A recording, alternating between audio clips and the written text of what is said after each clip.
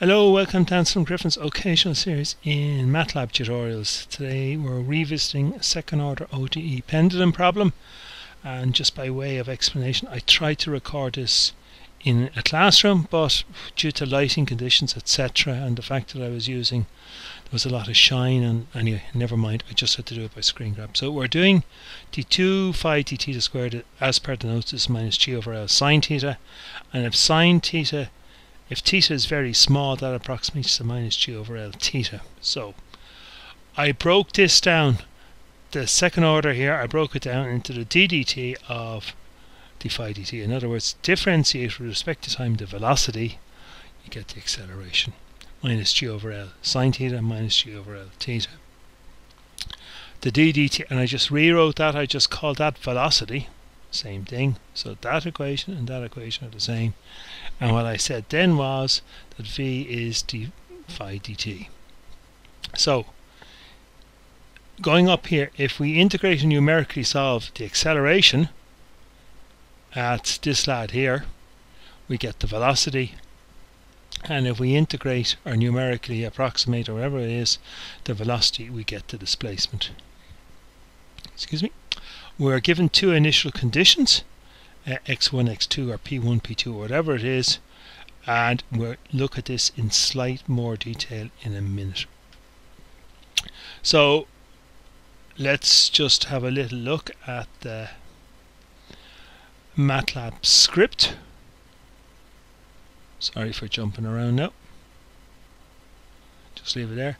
So we have our initial values so um, the displacement is uh, pi over 4 and um, second out here the 0 is for the velocity okay?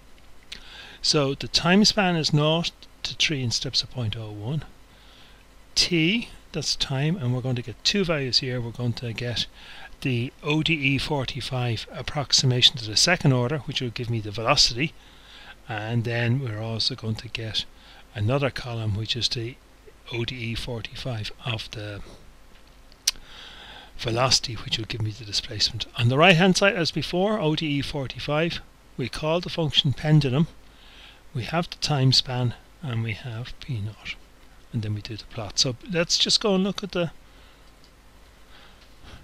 so there we are pendulum P dot you know um, gravity 9.81 the length is 2 p dot we are just initializing. Remember we're going to get a column for displacement and we're going to get a column for velocity. So we just initialize it to zero. Now the just go back here. This guy here what is the velocity? What's the initial velocity?